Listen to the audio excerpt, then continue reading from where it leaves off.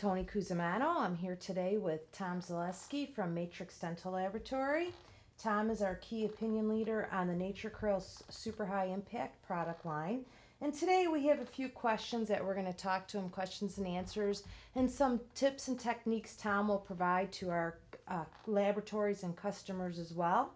This will be a reference guide. If you have any other questions or you need to refer to something, we'll hope to have the information here for you. Thanks, Tony. Um, yeah, you know, we were fleshing out an idea on how we could be very effective with our videos. And step by step's always nice, but it's always better when you can actually address issues that are concerns of our customers. Um, one of the big issues that we have is uh, we'll get a call and it might go to, through two or three different people before we can really get uh, a solid answer. Being that I've been a dental technician for 27 years and have used a host of products out there, I find that it's uh, much easier uh, to fall back on my experience rather than try to read a manual or something like that or instructions. So this my comments and my suggestions actually come from personal experiences in the laboratory. That's great, Tom. Can I go ahead and ask you the first question? Sure. Okay, I had Larry from a lab in Detroit. He had called and his question is what is the correct way to prepare the material before he uses it? Well, that's a good question, and there is a preparation that's involved in that. Um, a lot of people don't realize the, the journey that the acrylics make on their way to the laboratory, and it all has a bearing on how we prepare the material uh, prior to our dispensing and usage of it.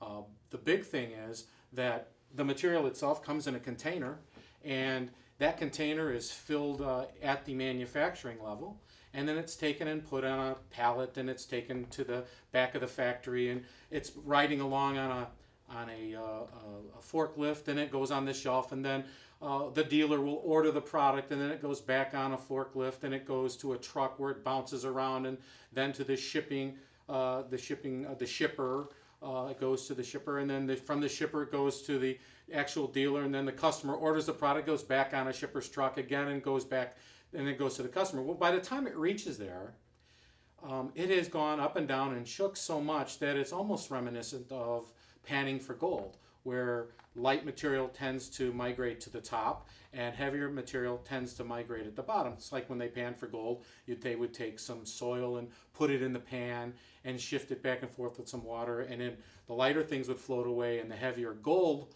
would settle to the bottom. Well, this same thing happens with fibers and pigments and the actual base material.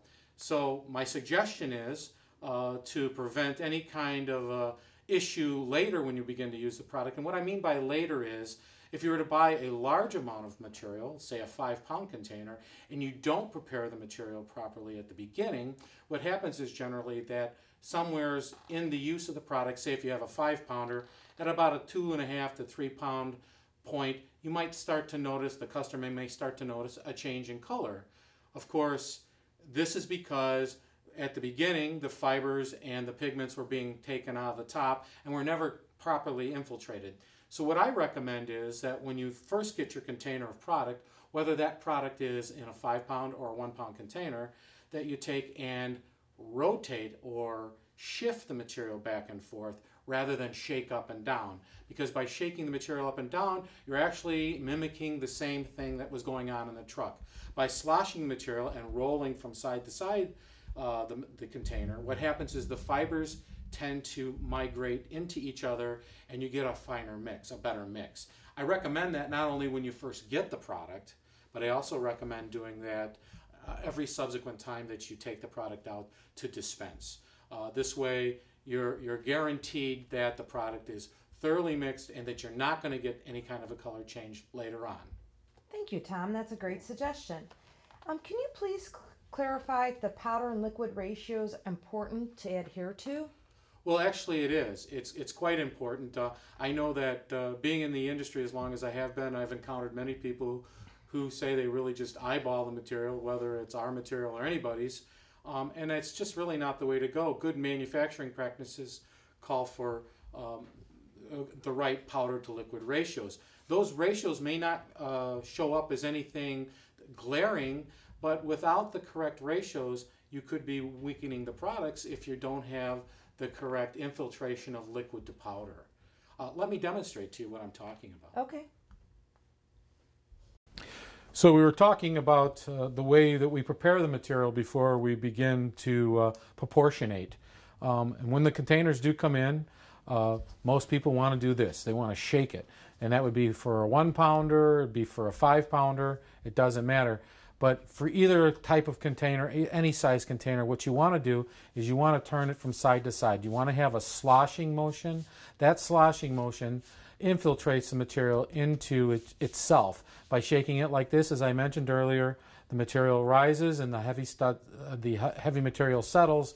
And what will happen is after a period of use, you'll no longer have the same consistency of color. So again, back and forth, and you do this with both. I do it every time I pull a container out of the drawer to proportionate.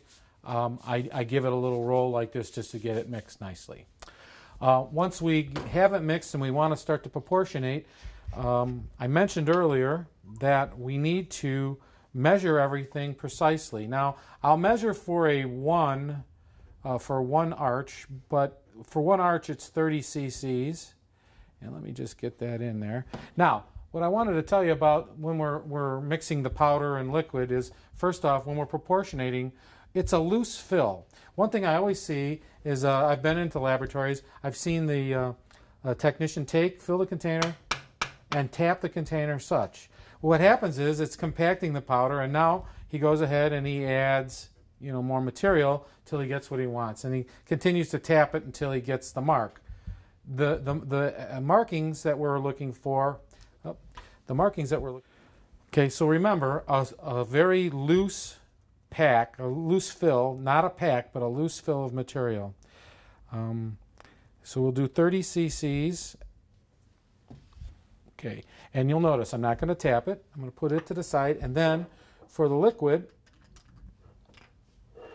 we're going to do 10. It's 30 to 10. Now, I mentioned earlier about the meniscus. Meniscus being uh, a bow in the liquid mark on the graduated cylinder.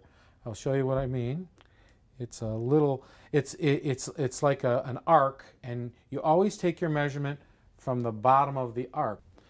So when you're, when you're pouring the liquid, you want to make sure that you have uh, the meniscus is red rather than the line of liquid on the bottle. In other words, you'll notice that the line of liquid on the bottle is above 10, but the bottom of the meniscus is right at 10. That's where you take your measurement from.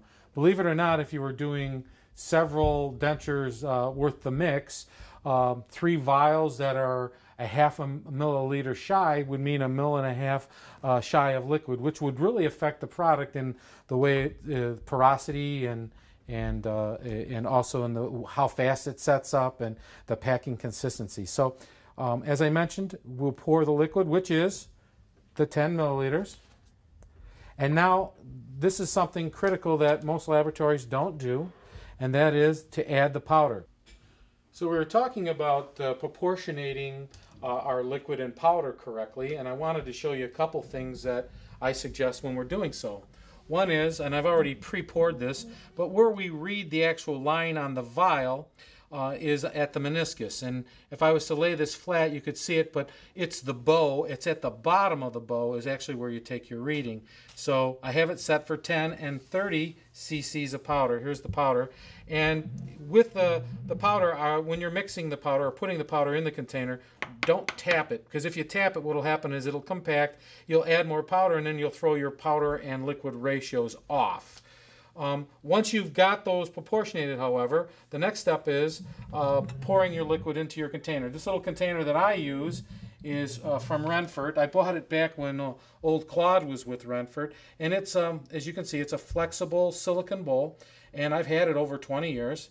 And I've poured my 10 cc's of liquid in there, or 10 milliliters of liquid in it, and now I will uh, put in my powder. Now, what I suggest with the powder is to sift it in and to turn it as you're sifting it. And you'll notice that it'll first just look like liquid, like water or like a liquid. And then what will happen is, as I do it, it'll begin to solidify a little bit. What I'm doing is I'm wetting all the beads. If you have the correct ratio, which I do, uh, it'll start to stiffen and then I'll show you how you get that to slump. And that's what you're really looking for is to wet all the beads. I'm still wetting, but you notice I'm not whipping any air into this. Uh, all I'm doing is I'm stirring it in. So I continue to mix this, and as I do, I continue to pour. Now you'll notice, I will show you here in a second, I'll tilt it towards you so you can see. But what happens is this begins to congeal. Okay, now I still have some powder left in there, but I want to show you that it has this consistency, which is a, uh, it's it's becoming kind of thick again, and I'm going to add more. Now you're going to say, well, gee, that's going to get kind of dry. That's the, the most of it. So, but it's not really the case because what I'm going to do is this. What I'm going to do is I'm going to mix it in a bit, and then I'm going to perform some magic here. What I'm going to do is I'm going to tap the container.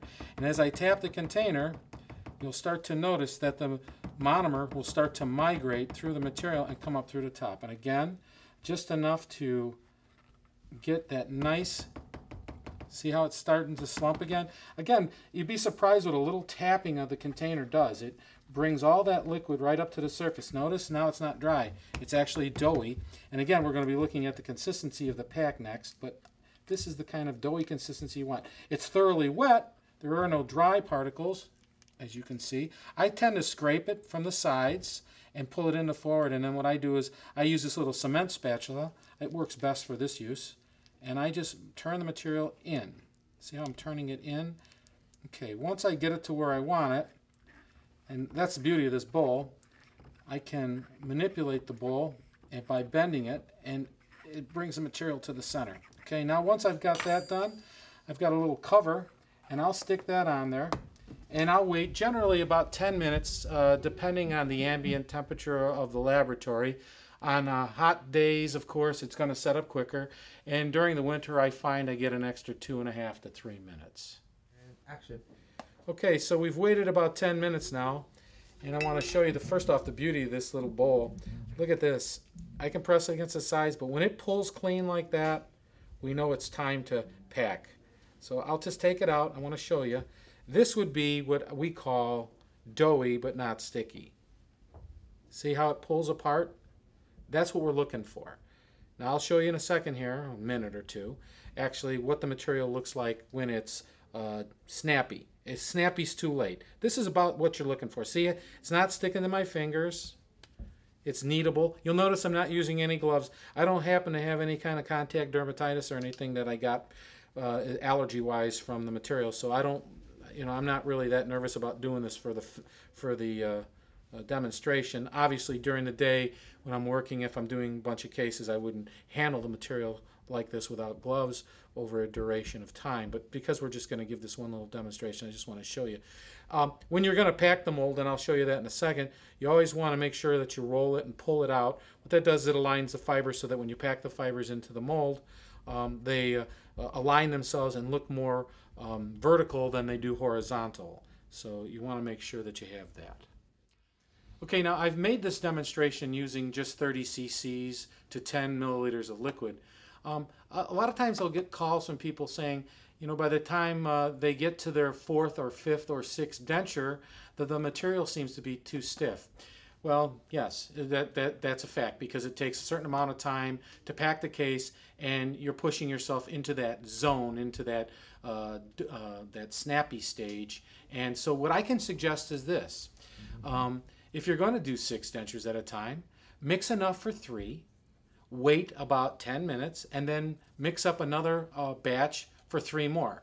When one pops, you can pack those three cases, and by the time that the second batch is ready that, to, to pack, you'll be done packing the first set of three.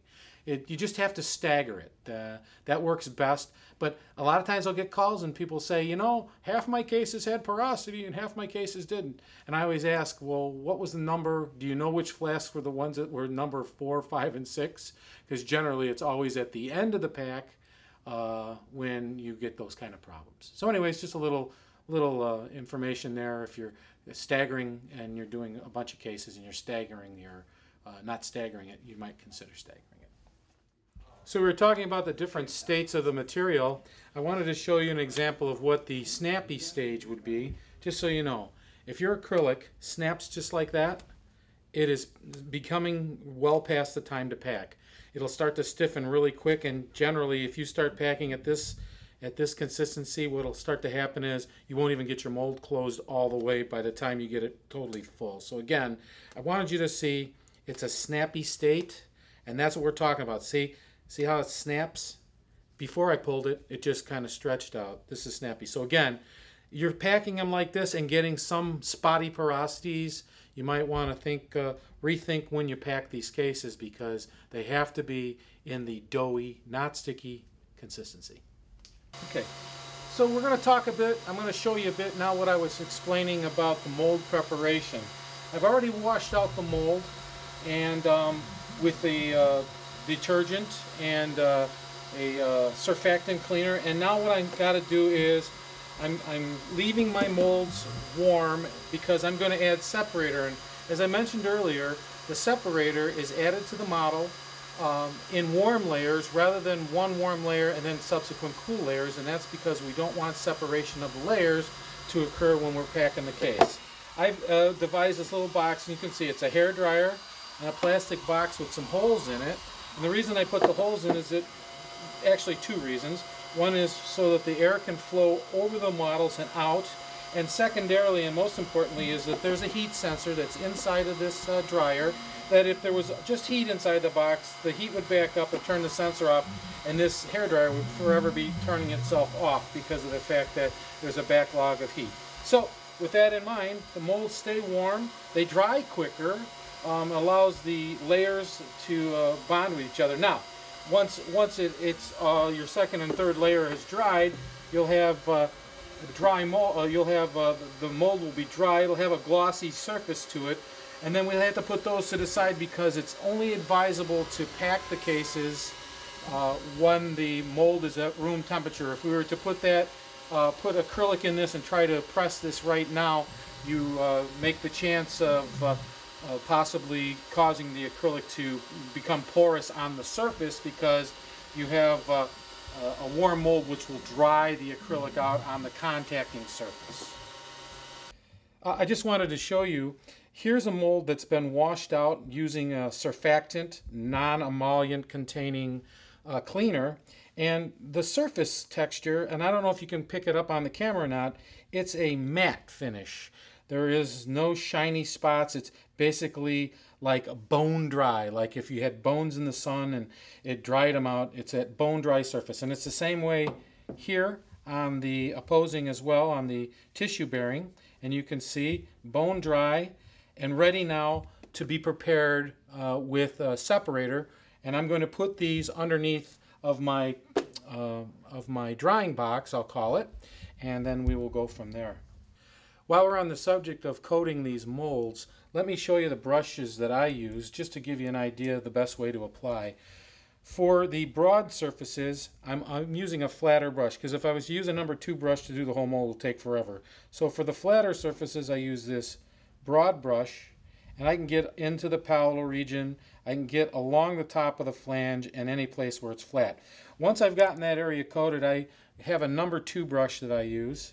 This brush here it allows me to get interproximally. Remember, you do not want to pool any of your separator uh, in between the teeth because if you pool it in there, what will happen is if you're not careful and it's not dried completely, is you'll get that porosity, that spot porosity we talked about earlier, that occurs right around the necks of the teeth. So a number two brush, you can see the size of it, it's, it's, it's small, and I take that and I go interproximally and I stay off the teeth as much as possible. So what I'd like to show you here just real quickly is the different brush. And the different brush that I use for the interproximal is a number two. I hold it up against the surface so you can see. I go interproximally with this brush because that allows me to control any kind of puddling that might occur. We want to keep the puddling from occurring because that's where you're going to get those spot porosities around the necks of the teeth. And again, using a, a dry box, a drying box like I have, uh, that, that I use and, and suggest. That will also help dry out those areas and keep that puddling from occurring. So again, the specialty brush of a number two, a broad flat brush for the broad areas around the palate, top of the flange, and on the land areas. And again, the number two for the interproximal areas to control the amount of material that goes around the necks of the teeth. So I'm going to add the, uh, the molds are warm. Um, I've cleaned them. They're underneath the box. I'm going to add my first coat of COE-SEP. And I'm just going to move this over to the side. This is that little box that I came up with. What I'm going to do is I'm going to start with the broad brush, the one for the land areas. And I'm just going to brush that over the areas as I mentioned earlier. It's a very simple simple procedure everybody does. We just have to do it anyway, so we might as well show you how I do it anyways. And again, the broad areas are the ones where I use that big old flat brush. Then, what I do is, take the number two, and I go in this area.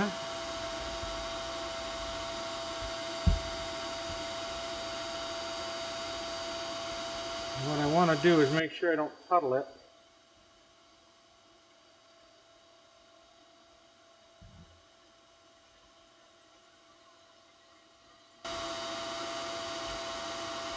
And then I'll go back to another broad brush.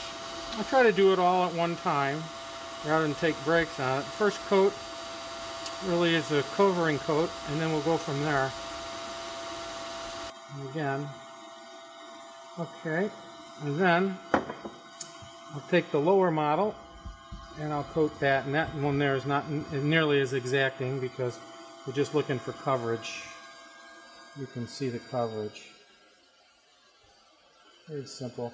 I like the uh, COE-SEP material. It doesn't uh, lump. I'm not having any problems with that. I will tell you this, if you buy a big bottle of the uh, COE-SEP material, what I always do is I proportionate off a small amount for my daily use. In other words, in, if you're always going to be opening and closing the bottles, uh, the main bottle all the time, um, the air exposure is going to cause it to thicken and, and, and eventually will clump. Uh, so you can do yourself a favor and get as much life out of that big bottle, that big quart bottle or pint bottle, whatever it is that you purchase, by, like I say, pouring off a, an amount into a smaller container, and that way you're only opening up that small container for a period of time. And I have found that that uh, reduces the amount of thickening of the material uh, at that point, and we'll just let that dry some more. What I'm going to do here is I'm just going to continue to add my second coat. My first coat is dry. And by the way, uh, somebody here asked me, how long does it take uh, between coats? And um, when the models are warm and the air is, is on it and your coats are not overdone, about two and a half to three minutes between coats. And maybe some of you might think, well, that's a little long, maybe, or maybe you think it's a little short. Um, I just find that if it's if it's um, dry to the touch, then it's ready to go. And again, the second coat goes on. Broad brush on that area. And then I'm going to take this one. And again, I'm going to go back over those broad flat areas, like the land areas first with the brush. And inside the palatal region. You might notice I'm using porcelain teeth. I don't have any specific brand that uh, I favor. Uh, many times people ask me in lectures and also when I'm at the shows what denture teeth I prefer, and I like to always tell them the same answer, which is I pick the teeth to match the patient, not the other way around. So I don't, I'm not really married to a tooth line. Uh, I use the, the, the, teeth that are best suited for the individual. Um, and that comes true because um, some patients have lingualized occlusion, some have 20 degrees, some have 10 degree occlusion and they make teeth that match the anteriors with posterior, matching posteriors. And uh, so I have to take the occlusal, I have to take the uh, occlusal concept into mind when I'm selecting. Anterior teeth are funny. Um, all can be modified. And uh, so I don't really get all hung up. As long as I have the basic shape, which would be square ovoid or rectangular, I can modify any tooth to um, to fit the bill. As long as I have the basic shape, I can take and I can adjust the line angles using rubber wheels uh, to get what I need. So again, I don't really use any particular brand, but I uh, this I used some porcelain teeth that I had. It's a nice, uh, uh, nice looking tooth when I'm through, I'll show pictures of this on Facebook or someplace, and I'll make note to tell you that these were the teeth that I used in this particular video.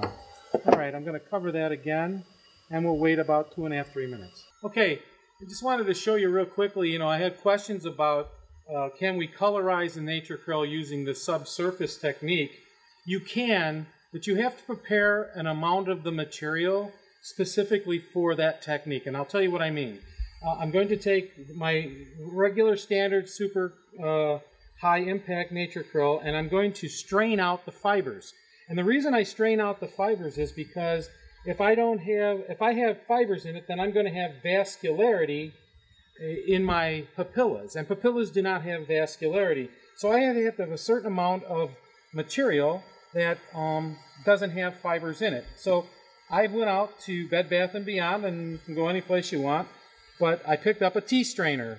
Um, basically, that tea strainer has the right sieve to allow for me to remove the fibers. And let me show you how I do that.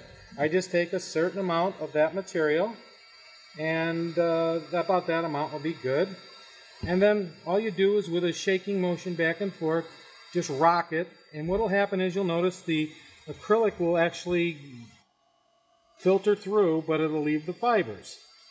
And I'll have to do this a couple of times, of course, because if I don't, uh, I'll still have a bunch of fibers in there. You can notice that's quite a bit of fiber in there. And then what I'll do with that fiber material is I'll reach off the screen here and I'll just dump them over here. I just want to show you that we're look. That's the kind of stuff we're looking at. That's what we'll be taking out. Okay. Now I'm going to take and I'm going to resift again First I have to pour it back into the container. I'll do this two or three times until I don't see any more fibers. Again, I'll go back and I'll pour the material in again. And then again, I'll rock it or bounce it, however you want to, whatever you want to call it. But you can see the fibers are still catching, but now not so many this time around. Very few. Okay. Then I'll take and I'll uh, re I'll uh, report back into another container. I continue to go back and forth from the same container. You, if you had a box lid, and that's what I generally use, is a box lid, and I'll go back and forth and I'll clean out um, a good, a fair amount of this material until it's fiber free, and then I'll place it in a bottle that I have over to the side. What I do with this is this material um, is placed, like I said, interproximally when I begin begin the um, procedure. And what it does is it keeps it keeps the color the same, but because there's no fibers, I'm not chasing the vascularity uh, interproximally, and that's what I'm really looking for here. I won't use this except just around the teeth and and and specifically between the teeth. And I, all I'll do is I'll sift some of that powder in using a little container that I have here. And uh, I bought a henna you're going to laugh. That's for henna, uh, doing henna art on a person. These little uh, tips, and it provides a, a, the right amount of material to be able to um, apply to the mold. So again, I'll clear out that amount, and then I'll put it in a bottle like this. And as you can see, no fibers. Okay, so I'm going to show you the subsurface colorization. And uh, now I, what I'm going to do is as I mentioned and showed uh, earlier, I've taken this Nature-Cryl, which is in the original shade, and I've sifted out the fibers. And the reason I've done that, again, is because I don't want vascularity on the papillas. So uh, the next step is to place it where? Well, to place it where the papillas would be, and then to wet it with monomers. So I'm going to grab my brush, and then I'm going to start. And typically I would start a timer uh, for 10 minutes. Uh, and at that time, I would also mix up my uh, material, my uh, base resin, uh, the original super high impact Nature-Cryl and I would set my timer for 10 minutes and then I would proceed. That gives me 10 minutes to get this mold filled with color. By the time the material is ready to pack, I want to be done with the colorization technique. Okay, so we'll just, we'll, we'll start now and I'll start to place the material. So what I do is I go and I just real fast take this sifted material and place it And what I do is I do about half of it, and then I wet my brush, and I take the brush, and then I just touch it. It wicks, okay?